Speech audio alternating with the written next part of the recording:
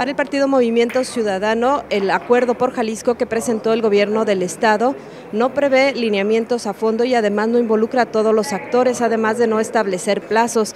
El presidente de este instituto político, Hugo Luna, dijo que elaboraron un documento en el que le plantean al gobierno del Estado algo más concreto.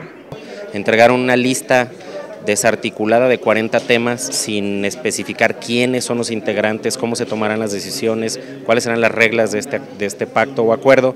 Y a razón de que ellos han intentado decir que nosotros decimos que no a todo cuando ni siquiera nos han hecho un planteamiento correcto, nosotros lo que hicimos hoy es con todo respeto convocar al gobierno del Estado y a todas las fuerzas políticas a un acuerdo por Jalisco y presentamos un documento muy completo de todas las reglas, modelo y esquema con el cual nosotros creemos que pudiera funcionar un acuerdo por Jalisco.